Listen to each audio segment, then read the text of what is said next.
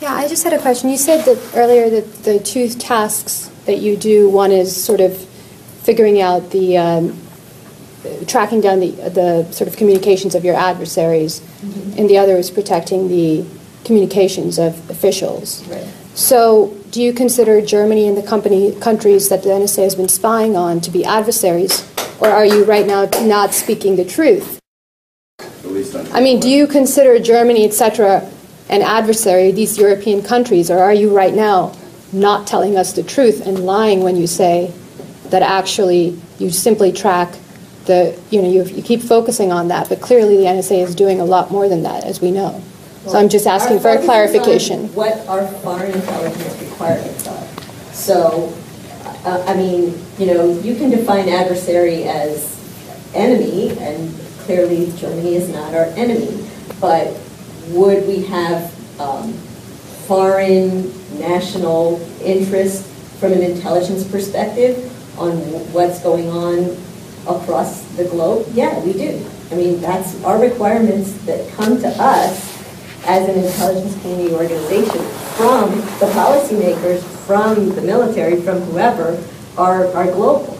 So advers- by adversaries, you actually mean anybody and everybody. There's nobody then by your definition that is not an adversary. Is that correct? That is not correct. Who is not an adversary? Well, okay, I can answer your questions, but the reality is. No, I'm just trying to get the clarification because you told us what the two nodes of your work are, but it's not clear to me what that encompasses. And you're being fairly unclear at the moment about what you consider to be an adversary. Some, apparently, it's somebody who's not just an enemy. So- it's something broader than that, and yet it doesn't seem to encompass everyone. So, what is what is the So for us, um, our business is apolitical, okay? Um, okay?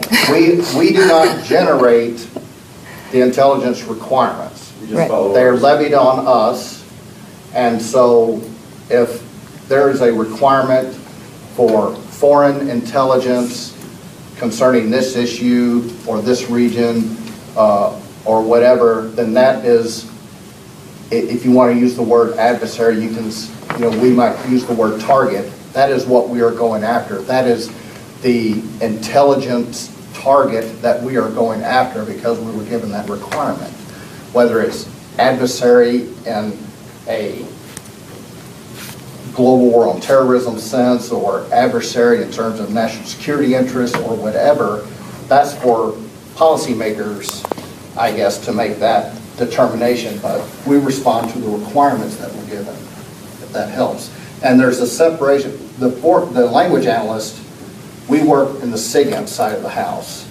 We don't really work on the information assurance side of the house. That's the guy setting up the, protecting our communication. Yeah, I'm just, I guess. I'm surprised that for language analysts, you're incredibly imprecise with your language, and it just doesn't seem to be clear.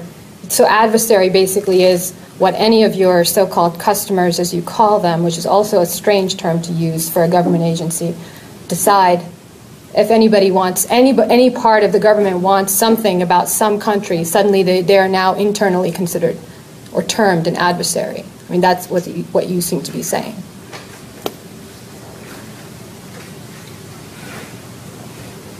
I'm saying you can think about it using that term. But the reality is, it's, it's our government's interest in some aspect of what a foreign country is doing. Right, so So- adversary can be anyone. As long as they levy the requirement on us through the right vehicle that exists for this, Right. and that it is defined in terms of being a foreign intelligence requirement, there's a national framework of foreign intelligence, um, what's it called, Uh, the, The NIPA.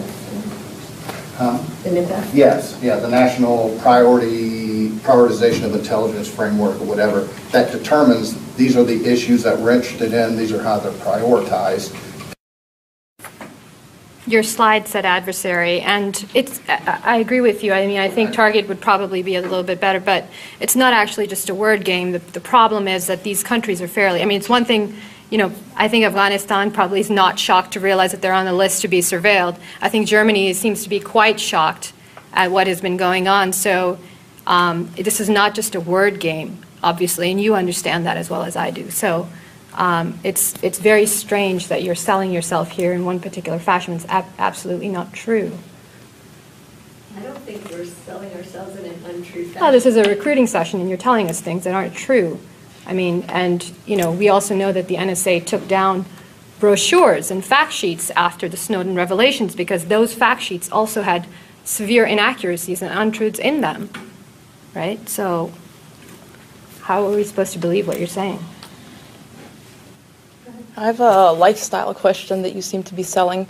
Um, it sounds more like a colonial expedition. You know, the globe is our playground was the words that you used, uh, the phrasing that you used, and um, you know, you seem to be saying that you can do your work, you can analyze said documents for your so-called customers, but then you can go and get drunk and dress up and have fun without thinking of the repercussions that your information that you're analyzing has on the rest of the world.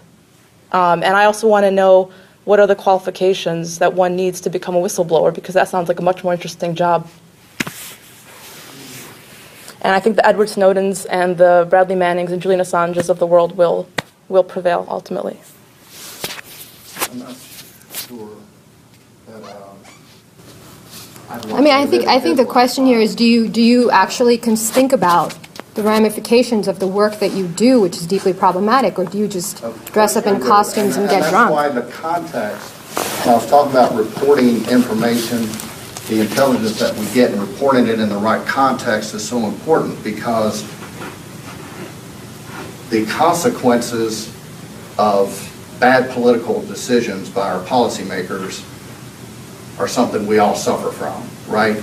And people suffer from the misinformation that you pass along, so you should take it's our responsibility as well. And we take it very seriously that when we give information to our policymakers, we do give it to them in the right context so they can make the best decision with the best information available. Is that what And that's why we don't just doing? tell them, this Is happened, that we what tell Ian I. them. Clapper was doing when he perjured himself in front of Congress? Was he giving accurate information when he said we do not collect any intelligence on United States citizens? And, oh, no, it's only occasionally, perhaps unintentionally? Or was he perjuring himself when he made a statement in front of Congress under oath uh, that he later declared to be erroneous or the least untruthful answer? How do you feel personally having a boss who's comfortable perjuring himself in front of Congress? There is not General Clapper. Oh, well, General Alexander also lied in front of Congress. I don't believe that he did. Uh, they, well, probably because access to the Guardian is restricted at Department of Defense computers. I'm sure that they don't encourage people like you to actually think about these things. Thank God, for men like Edward Snowden, who your organization is now part of a manhunt, trying to track down, trying to put in a little hole somewhere for the rest of his life. Thank God they exist. And why are you denigrating anything else done with language? You, we don't do that. We don't read cultural artifacts or we don't read poetry or things like that. There are other things to do with language than No. joining this group, okay? And this job isn't for everybody, you know, and that's part of the reason for coming out here is that academia is a great career. So it's this job for liars, language. is that what you're saying? Because, I mean, clearly you're not able to give us forthright answers. I mean, do you, like, given the fact, given the way that the NSA has behaved, given the fact that we have been lied to as Americans, given the fact that fact sheets have been pulled down because they clearly had untruths in them, given the fact that Clapper and Alexander lied to Congress, is that a qualification for being in the NSA? Do you have to be a good liar? I don't consider myself to be a liar in any fashion. And the reality is, I mean, this was billed as, uh, if you are potentially interested in an NSA career, come to our session. If you're not, if this is your personal belief and your understanding of what has been presented, then, you know, there's nothing that says you need to come and apply and work for us. We're not here, our role as NSA employees is not to represent NSA the things that are in the press right now about NSA to the public. That's not our role at all. That's not my area of expertise. I have not Right, but you're here recruiting, and so you're selling the organization. So, I, I mean, I'm less interested in what your specialized role is within the NSA. I don't care. The fact is, you're here presenting a public face for the NSA, and you're trying to sell the organization to people that are as young as high schoolers, and trying to tell us that this is an attractive option in a context in which we clearly know that the NSA has been telling us complete lies. So I'm wondering, is that a qualification? I, I don't believe the NSA is telling complete lies, and I do believe that, you know, I I mean, people can, you can read a lot of different things that are, are um, portrayed as, as fact, and that doesn't make them fact just because they're in newspapers and. Or intelligence reports? That's not really our, but that's not our purpose here today, and I think, you know, if you're not interested in, a there, there are probably people here who are interested in a language career. The trouble is, we can't opt out of NSA surveillance, and we don't get answers. So we actually, you know, it's not an option. You're posing it as a choice, like, oh, you know, people who are interested can just sit here, and those of us who are not interested can leave. If I could opt out of NSA surveillance and it was no longer my business, that would be fine. But it is my business because all of us are being surveilled. So That we're here. incorrect. That is not our So, job, that is not our business, that That's, is not what we do. that doesn't seem to be incorrect given the leaks, There right? are And you are not- not able, the no. NSA has not been able to actually put out anything that is convincing contrary to that. I don't understand what's wrong with having some accountability, so, you know, if you wanted to have We a have- cop-out We have complete accountability, and there's absolutely nothing that we can or have done um, without approval of the, the three branches of the government. The programs that were enacted. Did you read the. New York Times? Did you read about wire, this illegal wiretapping? Why are you lying? Did you read Out of the respect Senate anyone who wants to Judiciary work for these Review on us? Judiciary Review that said there have only been 50 instances, and it- were all documented and done correctly with the FICE report, and the system I would love to read the opinion of the FICE report that said that uh, one of the NSA's program was violating the Fourth Amendment rights of massive amounts of Americans, but it's a big old secret, and only people like you who are comfortable not talking to their wives when they get home about what they do all day are able to see the top, top secret, secret, secret things that are protecting us from the terror threat. So let's let everyone hear more information about karaoke.